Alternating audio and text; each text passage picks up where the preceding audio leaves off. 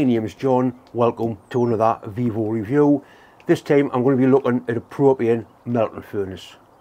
I've been considering doing some more casting for quite some time and one or two of my viewers emailed us saying, John, why not ask Vevor to if you can review one of their little melting furnaces.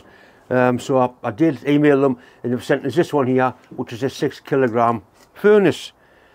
Everything is supposedly included. We'll have a look, see what you get. Before I start, I want to make one or two things perfectly clear. I don't work for Vevor. I don't get paid for doing this.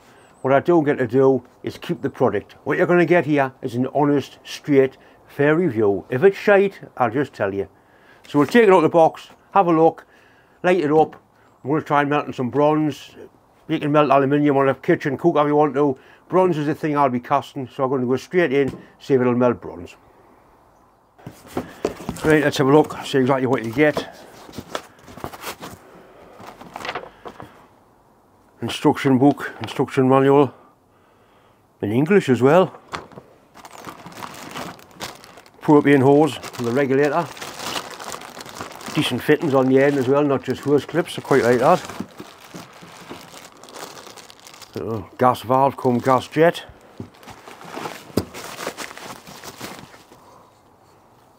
Wooden handle, I'm not quite sure what that's for.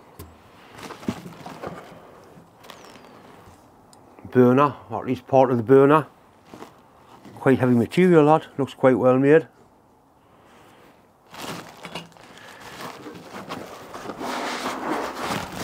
Ah, now we're getting into it.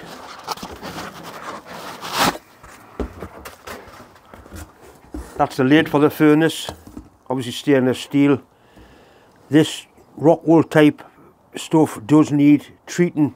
Uh, you can get a spray that goes on it and the spray hardens because the fibres aren't very good for you. Right, so we've got a furnace lid. A set of tongs.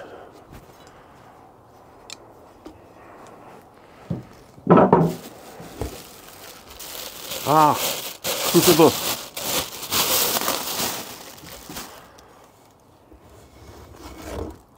Probably a graphite based crucible, quite a decent size. It's supposed to melt six kilograms of brass. It's about half the size of the one I used to use, but it, that's quite useful. They're, they're expensive just to buy the crucible.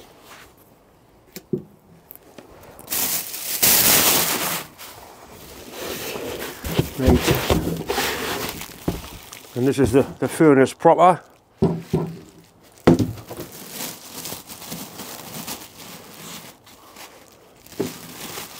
Like I say this does want treating that'll be a fire brick in the bottom of there. This is all stainless as well. It's obviously where the, the burner goes into there.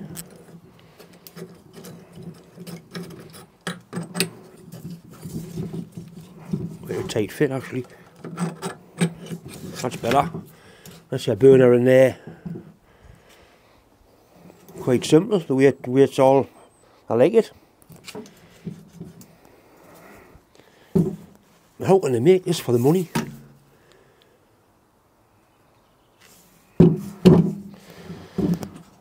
I think really we need to get the propane bottle out, uh, fire it up, just a little bit of heat because that needs tempering, you don't get it really hot at first. Then I'll probably make some tools to hold this with, some crucible tongs and a pouring shank.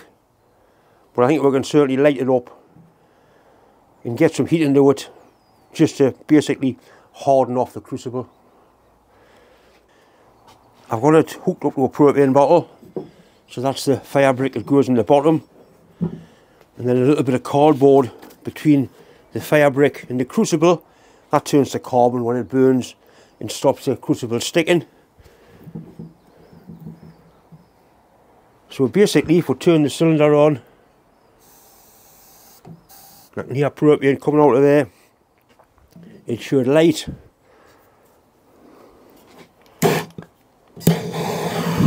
Which it has done, instant light.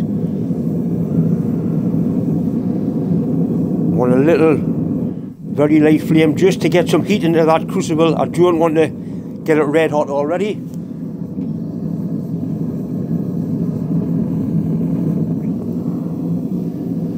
Pleasant actually because it's bloody cool out here today. I'll bring the camera in, you can have a look and see what's going on in there. It's a nice quiet torch but it's turned right down. I just want to get a little bit of heat into it. Things are starting to warm up quite nicely in there now. That's well to temperature now. That's a nice bright red glow. That'll melt bronze no problem.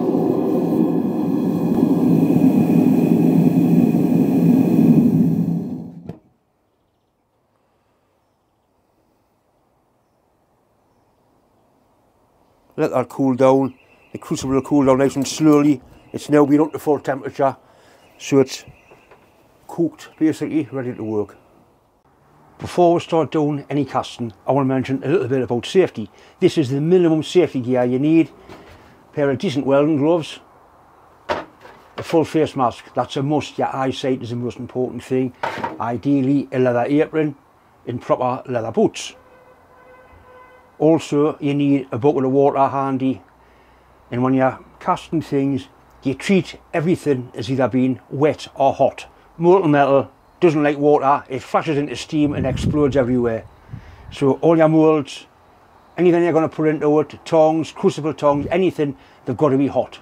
Wet or hot, simple as that.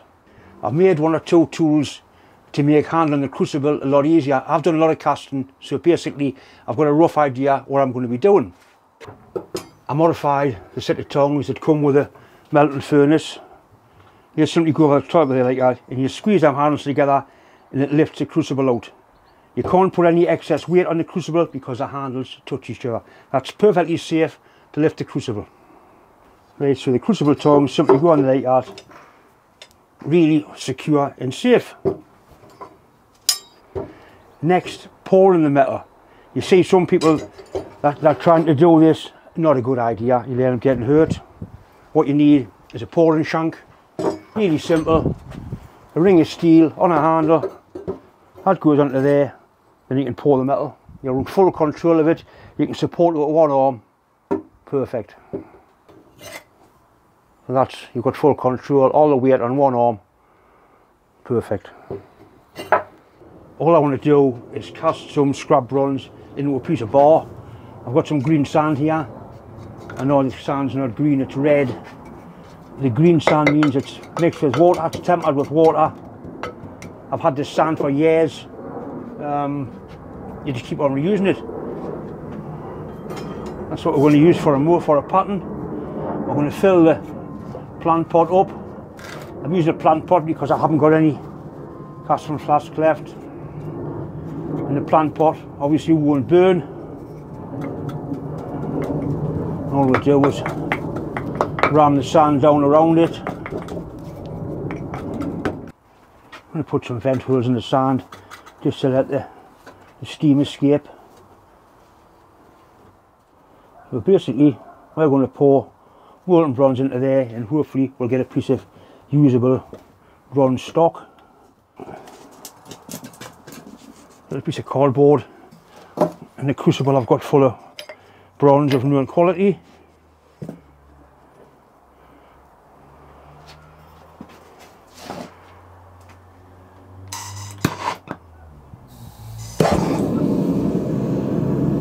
slowly not a race warm it up there quite merrily It's about 1200 degrees centigrade you need to melt bronze. It's definitely starting to melt in there.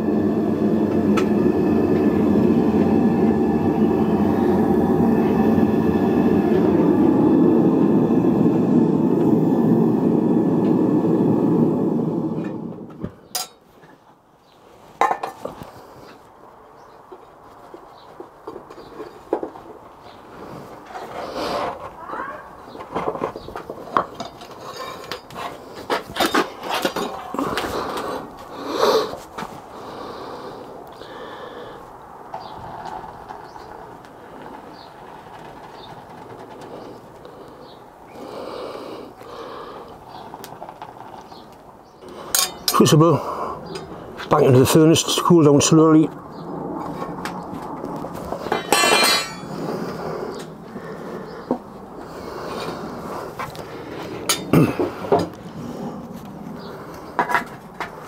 I'm not expecting much because it's not a proper mould. I just wanted to prove the point that it would in fact melt bronze, which it did, no problem at all.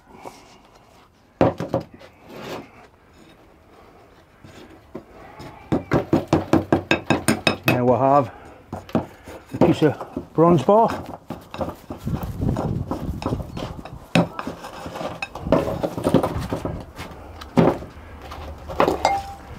I'll clean it up, put it in the lathe, but it is definitely a piece of bronze bar. That's the bronze. I've just cut the top of that off with an angle grinder. Lovely and clean. We'll put it in the lathe, give it a quick skim, see how it cleans up like.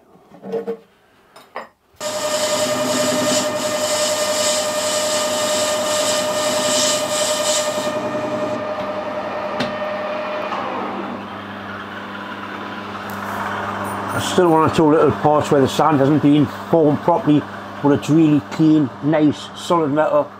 A little bit more time and patience making better molds and that's perfect usable bronze stock and exactly what where it came from it is the real real stuff.